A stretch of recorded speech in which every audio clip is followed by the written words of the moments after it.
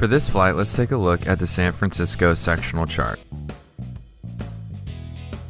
We flew to Reed Hill Airport and entered a straight-in approach to runway 31 right.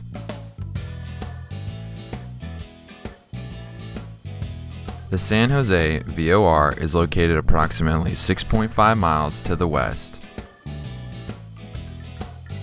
This is a Class Delta airspace.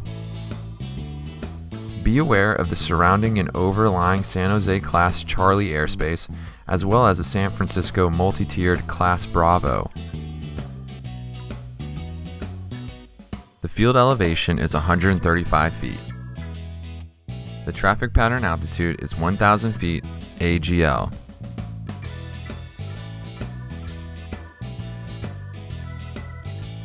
This airport has a tower.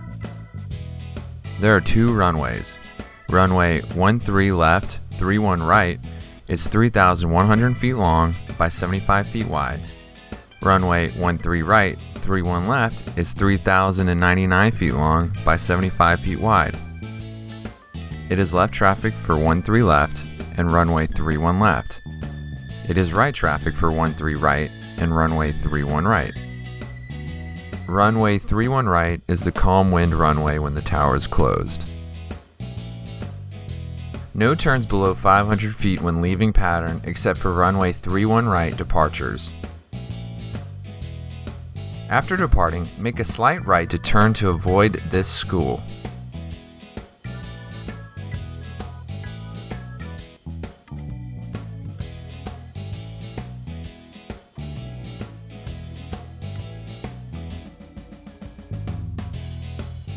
There are medium intensity and runway end identification lights on runway 13 left, 31 right.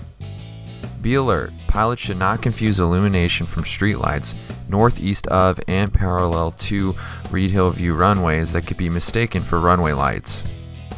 Runway 13 left and runway 31 left have VASIs on the left, and runway 31 right has a PAPI on the left. 100 low lead and Jet A fuel are available.